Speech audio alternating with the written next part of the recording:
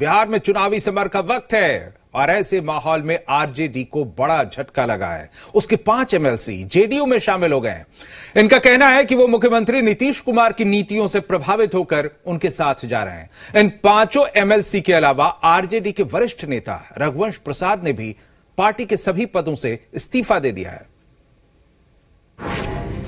चुनावी समर का हुआ आगाज़। दल बदल से दी जाएगी शहमात। मंगल को आरजेडी का अमंगल।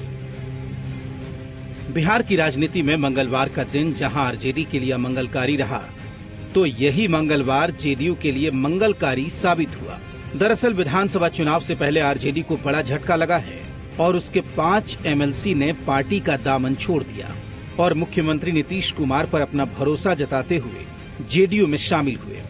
एमएलसी रणविजय सिंह, दिलीप राय कमर आलम संजय प्रसाद और राधा चरण सेठ ने विधान परिषद के सभापति को जेडीयू में शामिल होने की चिट्ठी सौंपी। वहीं विधान परिषद के कार्यकारी सभापति अवधेश कुमार सिंह ने अलग गुट को मान्यता भी दे दी। इसके बाद इन सभी ने मुख्यमंत्री नीतीश कुमार से मुलाकात की और अपने गुट का विलय जेडीयू में कर दिया।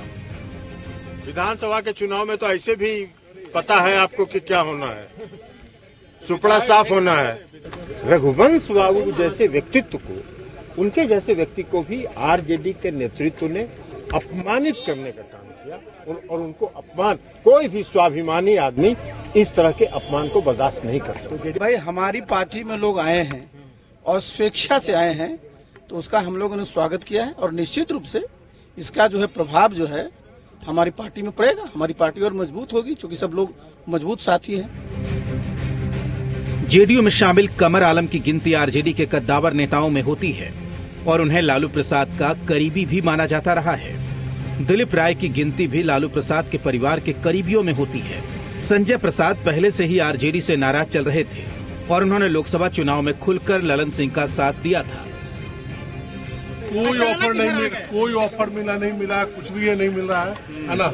लगा कि यहाँ पर आएँगे। कितना साल बचा हुआ एमएलसी का? हमारा अभी दो, दो, दो साल बचा हुआ तो आश्वासन मिला है क्या दो साल के बाद या कुछ भी आश्वासन नहीं मिला इस तरह कुछ भी। आप लोग देखेंगे ना आश्वासन मिलेगा तो।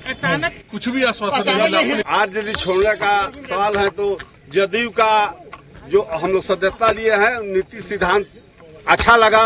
नीतीश जी के विचार से और विकास से हम लोग सहमत हुए इसलिए जदयू का दामन थाम लिए। विकास क्यों दिख रहा है? पंद्रह साल देख पंद्रह साल जो विकास दिख रहा है तो आप जानते हैं कि फिर पाँच साल होगा लगातार लोग विकास से प्रभावित होकर नीतीश कुमार को पाँच साल बाद दस साल दस साल बाद पंद्रह साल पंद्रह साल बाद बीस साल आपने मुख्यमंत्री जी को आश्वासन दिया कि आप पार्टी के लिए काम करेंगे कोई पद नहीं लेंगे ना आगे आने वाले दिनों कोई पद नहीं लेना है पार्टी के लिए काम करना है।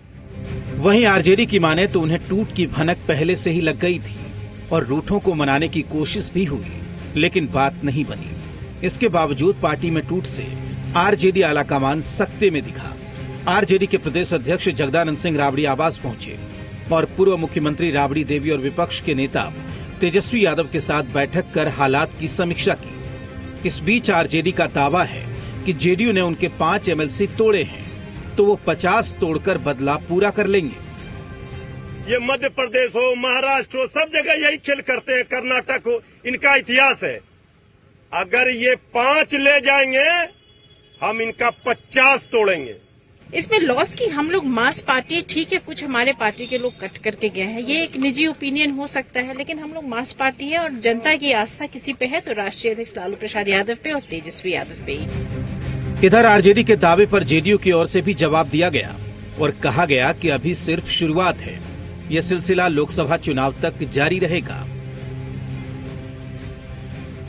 अब दल टूटा या दिल टूट गया आपके पार्टी के विधान पार्षद ने आपके नेतृत्व के खिलाफ मुक्ति पत्र पर हस्ताक्षर किया है। जनता तो पहले ही मुक्ति पत्र पर हस्ताक्षर कर चुकी है। खुद तेजस्वी जी का ही जब भविष्य नहीं है और बिहार की जनता ने पूरी तरह से मन बना लिया है कि 2010 के आंकड़े को भी अ, एक बार फिर राजद को हासिल करने में कठिनाई होगी, ये मानस बिहार का बन चुका है।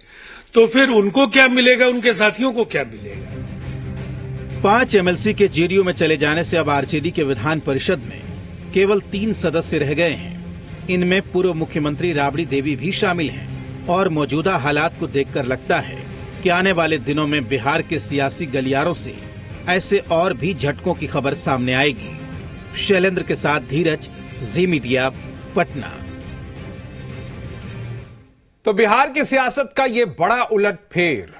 यहीं तक सीमित नहीं रहा। एक तरफ़ आरजेडी के पाँच एमएलसी ने जेडीयू का रुख कर लिया तो दूसरी ओर पार्टी के कद्दावर और वरिष्ठ नेता रघुवंश प्रसाद ने भी आरजेडी के सभी पदों से इस्तीफा देकर सबको हैरान कर दिया। केंद्रीय मंत्री रह चुके रघुवंश प्रसाद। इन दिनों कोरोना पॉजिटिव होने के कारण अस्पताल में भर्ती हैं, पटना के रिम्स में भर्ती हैं। कहा जा रहा है कि रघुवंश प्रसाद सिंह लोक जनशक्ति पार्टी के पूर्व सांसद रामा सिंह को आरजेडी में शामिल किए जाने की चर्चाओं को लेकर नाराज़ थे। दो दिन पहले ही रामा सिंह ने तेजस्वी यादव से मुलाकात की थी, जिसके बाद चर्चा है कि बाहुबली रामा सिंह 29 जून को आरजेडी ज्वाइन कर सकते हैं। और इसी बात से रघुवंश प्रसाद सिंह समेत आरजेडी के कई नेता नाराज़ बताए जा रहे हैं। आपको बताएँ कि रामा सिंह, कभी लालू प्रसाद यादव और आरजेडी के राष्ट्रीय उपाध्यक्ष रघुवंश प्रसाद सिंह के कट्टर विरोधी माने जाते थे। और ये वही रामा सिंह हैं जिन्होंने 2014 के लोकसभा चुनाव में करीब एक लाख से ज़्यादा वोट से रघुवंश प्रसाद सिंह को वैशाली से हराया था। अब ज़ाहिर है कि ऐसा नाम, ऐसा शख्स पार्टी में लिए जाने की चर्चा हो तो उसे रघुवंश प्रसाद सिंह कैसे बर्दाश्त कर पाते? तो आरजेडी के पाँच एमएलसी ने जेडीयू का दामन थामा तो आरजेडी खेमे में हड़कंप मच गया। बैठकों का दौर भी शुरू हो गया। नेताओं की बौखलाहट भी नज़र आने लगी। अब तेजस्वी यादव का भी बयान सामने आया है और तेजस्वी ने इसके लिए इशारों इशारों में सीएम नीतीश को जिम्मेदार ठहरा दिया है। उन पर तंज कसा है। सुनाते हैं आपको क्या कहा तेजस्वी यादव। नीतीश कुमार जी को हम शुभकामनाएँ दें। उसकी कॉपी उसकी जो एमएलसी जो। यहाँ से वहाँ गए हैं उनके भविष्य को लेकर के हमारी शुभकामनाएँ हैं। और नीतीश कुमार जी ने कंस्ट्रक्टिव काम किया। नीतीश कुमार जी ने कंस्ट्रक्टिव काम किया। बड़ा कंस्ट्रक्टिव काम किया है। वो कंस्ट्रक्टिव जो काम जो उन्होंने किया है नब्बे दिन सीएम हाउस में बैठ करके वो यही काम किया। तो अपनी पार्टी में हुए इस बड़े उलटफेर से आरजेडी के प्रदेश अध्यक्ष जगदानंद सिंह भी सख्ते में हैं। अपनी पार्टी के पाँच एमएलसी के जेडीयू में शामिल होने से नाराज़, उन्होंने नीतीश कुमार पर हमला बोला। जगदानंद सिंह ने कहा कि नीतीश कुमार के पास अपनी कोई पूंजी नहीं है और इसलिए वो राजनीतिक लूटपाट में लग गए हैं। लेकिन बिहार की जनता उन्हें सबक सिखाएगी। वहीं उन्होंने रघुवंश प्रसाद के इस्तीफे को लेकर कहा कि वो नाराज़ नहीं है और बहुत जल्द स्वस्थ होकर वापस लौटेंगे।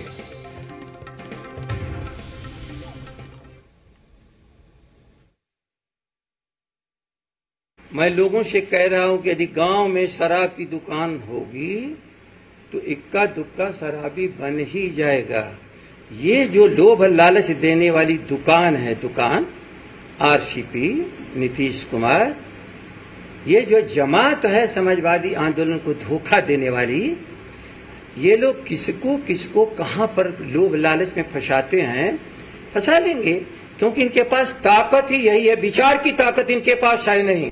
अब घर की बात की चर्चा सामाजिक रूप से एक घटना घट चुकी है। आपने जो कुछ कहा, मैं आपके सामने स्पष्ट रूप से अपनी नीतियों को बताया। महागठबंधन के बारे में भी हमारी चर्चा अपने साथियों से होगी। महागठबंधन है, चुनाव हम लोग मिलकर लड़ने वाले हैं। उसमें सभी लोग अपनी तैयारी कर रहे हैं, सब अपनी ताकत को बढ़ा रहे हैं और सबों की ताकत समेकित रूप से इनको परास्त करेगी, जिसका नाम है धार्मिक उन्मादियों का साथ देने वाला नीतीश कुमार।